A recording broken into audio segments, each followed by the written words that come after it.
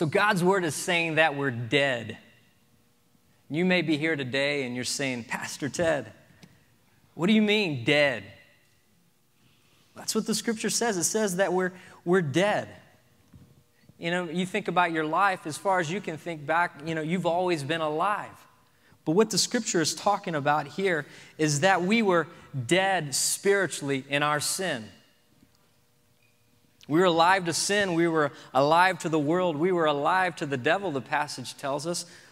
But we weren't alive to God. We were spiritually dead. I like to call this the walking dead. The Walking Dead. Don't look that up on the internet. There's a lot of crazy, scary pictures about that. The Walking Dead. And I'm sure you've heard it when you went to college. You've heard it on the street. You, you have conversations with people at work, and they say, Hey, I'm basically a good person.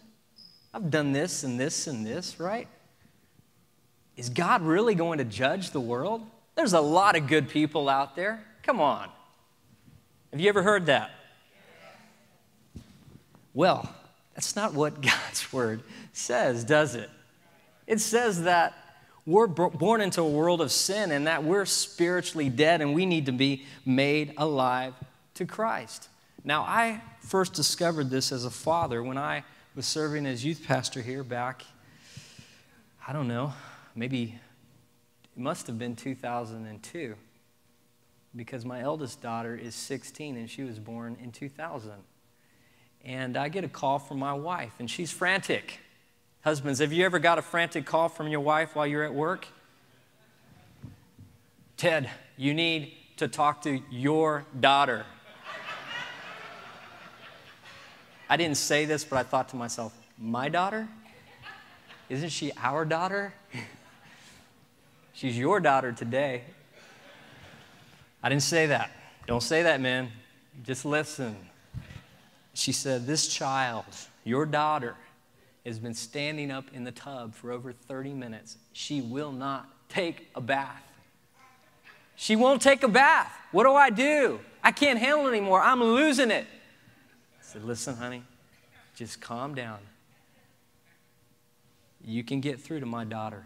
Let me tell you what to do. Just stay calm, and you're in charge. You've got to stay there with her until she knows that you're the boss and she needs to do what you've told her to do. She said, How long is it going to take? I said, I don't know. But you've got to win this battle. And guess what? She won. Give Anna a big round of applause.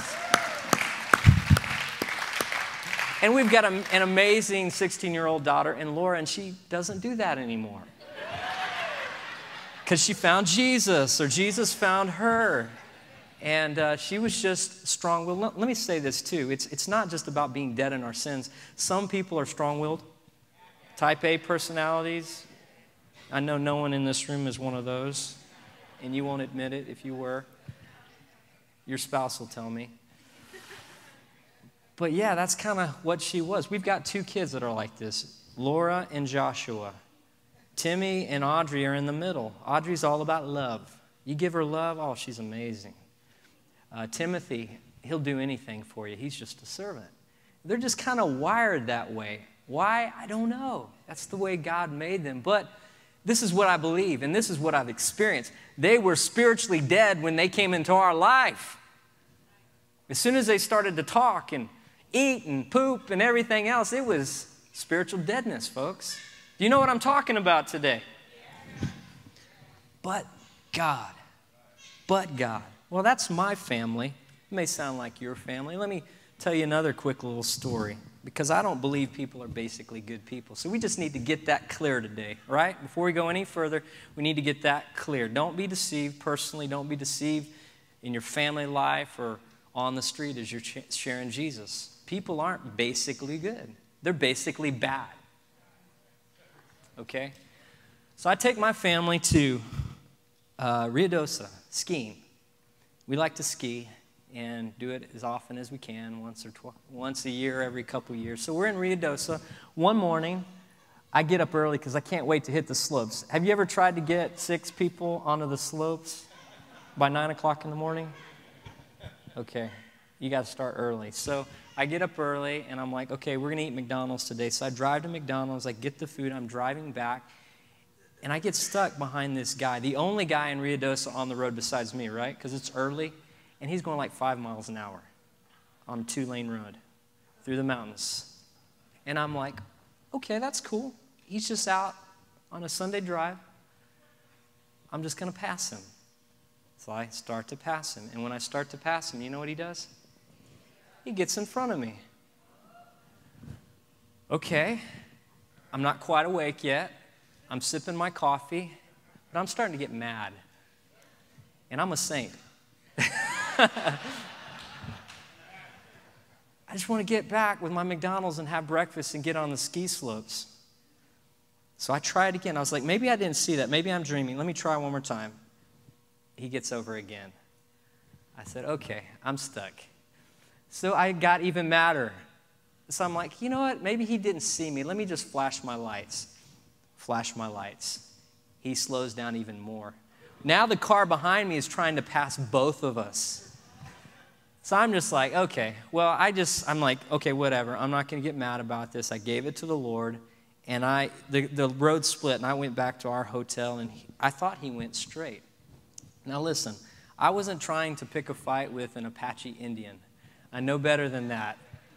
But he followed me back to my hotel. And that's probably the scariest I've ever been in my life because I'm getting out of the car and I got some guy yelling at me, telling me I'm, I'm number one, right?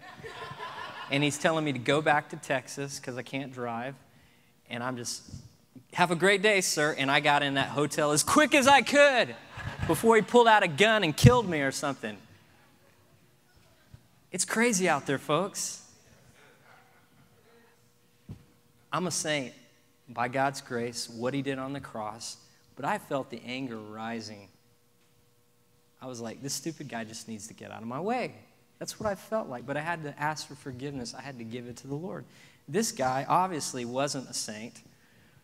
He was ready to kill me. It wasn't worth it. But this is what's at work in our world, isn't it? This is what's at work in our world. And where in the world does it come from? Have you ever been a little bit concerned about America lately? Have you seen the riots in Charlotte? I used to work in downtown Charlotte. I used to walk those streets. I'm glad I'm not working there now. Where does this come from? The Bible says it comes from the devil, it's of the world. This anger is not of God. We and in our life and, and others are not alive to Christ. And uh, I just feel like as we get started today, I want to pray for America. Can we do that? I've got a lot to share, but I'll cut it short. I just feel like I could talk all day long, but prayers would go a lot further, you know? And uh, I was thinking about why it is this way. And, you know, we can say the devil, we can say sin, we can say a lot of things. And I've never grown up in the inner city. I may look Hispanic, uh, but I didn't grow up in the inner city. I went to nice schools, and my family had a little bit of money. So I don't know what it's like to live in the inner city. But I know there's a lot of fatherlessness there's an orphan spirit. They feel abandoned. They feel stuck. They feel a lot of really bad things. I've never been pulled out of a car and arrested for nothing. And I talked to a guy last night, an African American guy last night. I said, Tell me how it really is. You grew up in Philly, right? He said, Yeah, but I was in a nice neighborhood. I said, Really? He said, But yeah, I would take the bus in a bad neighborhood to go to the UPS uh, for work. And he said, one day the three police cars converged on me and they threw me on the ground. They stuck their foot on my face and started yelling at me and arrested me for nothing. I was like, really? Okay, thanks for sharing that because I, I had no idea. And then he said his dad was upset and his dad was a civil man. He went downtown and said, hey, listen, my son is a good kid. Why did you do that to him? And the, the dad got arrested. Okay, so this stuff happens, okay? And I didn't get that before yesterday. So I had to kind of curb my remarks today. Thank God I heard that last night. But on the other side, I, I respect police officers, don't you? I respect first responders. I re- respect military people. Let me tell you what, what came to my mind the other day as I was praying about this. I, I wrote this down. You can quote me on this if you like it. Freedom of speech is what's great about America. Have you ever heard people say that? Freedom of speech is what's great about America. This is what I said. What's great about America are the young American soldiers who didn't speak but laid down their very lives so we could say stupid things. I think that's what's great about America. But there's this hurt, there's this pain, there's spiritual and financial poverty in the inner cities. It's, it's even in the suburbs, isn't it? Divorce rates climbing. Schools, teach, teachers don't even want to teach in schools anymore because the kids are just like the devil. It's sad. But this, this is the state of our world and the state of our country. And I just really believe that we need to pray for America today. And uh, let me say this one final thing, and then we're going to all stand and pray. And pray like, like we were taught to pray, right? We know how to pray at Destiny Church. All right? So we need to really pray. Um, we need to go vote. If you think that's a good idea, let me hear some noise or something.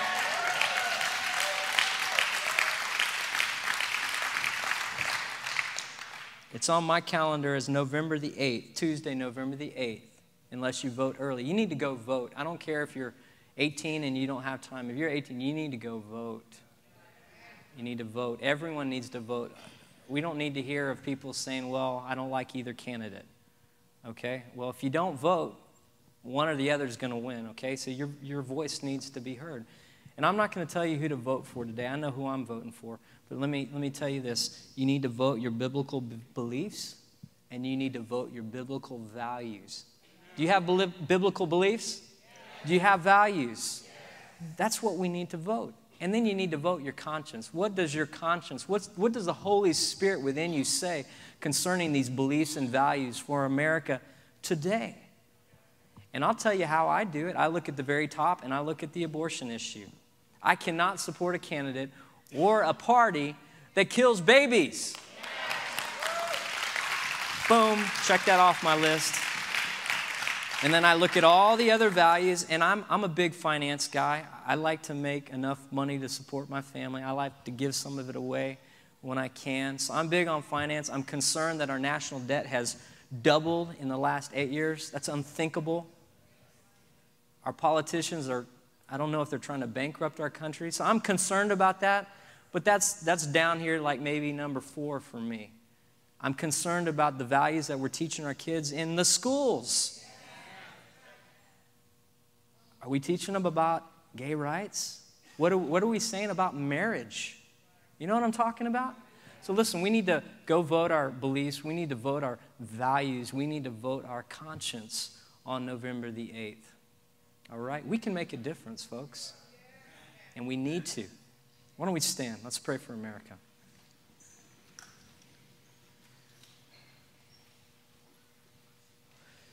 Lord, we raise our hands to you. Your word says, If my people who are called by my name will humble themselves and pray and seek your face, you will hear from he- heaven and you will heal our land. We know that that was for Israel, but that's for America today. That's for our world today. We cry out to you, Lord. We raise our voices. We raise our hands and we ask you to forgive our country of all the evil that's happening that, Lord, everyone's been involved in at some level, Lord God. We've contributed to it, oh God. Forgive us. Heal our land. Lord, we pray for our president that you would give him wisdom and you would give him godly character and an experience with you, oh God, we pray. We pray for the new candidates that are running for president. Lord, we pray that your choice would happen, Lord God, for your glory, for the advancement of your kingdom. Lord, we pray for the inner cities that are struggling, the fatherlessness, Lord God, the moms and the grandmas that are holding down the fort, and they shouldn't have to because all the daddies are in prison. In the name of Jesus, Lord, we pray that you would give us a sweeping revival through the prison system, Lord God, and even in the African American community and the Hispanic community, oh God, that you would save souls and give us revival in our nation again, oh God, that we could turn back to you, Lord God, that we could repent and believe, and Lord, and that many, many people, Lord God, would be added to the church and our churches would be filled again, oh God.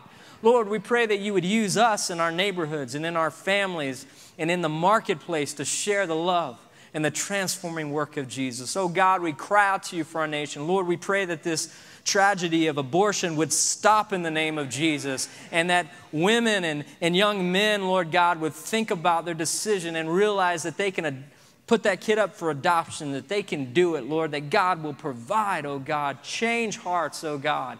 Lord, we pray for young people that would want to be involved in politics, that would get in there and make a godly difference. Lord, we don't know when you're coming back. It may be tomorrow, it could be a hundred years from now. We do not know. So, Lord God, we make a decision today. We will tarry until you come back. We will live. We will thrive. We will share this gospel until you return, Lord God, and we will not check out before our time. We will contribute. We will vote. We will pray. We will serve. We will lead, oh God. Use Destiny Church in San Antonio. Give us a revival in this city. We cry out to you, Almighty God. And we say all this and we pray all this for your glory alone. In the name of Jesus. Amen. Give the Lord praise. You may be seated. Thank you.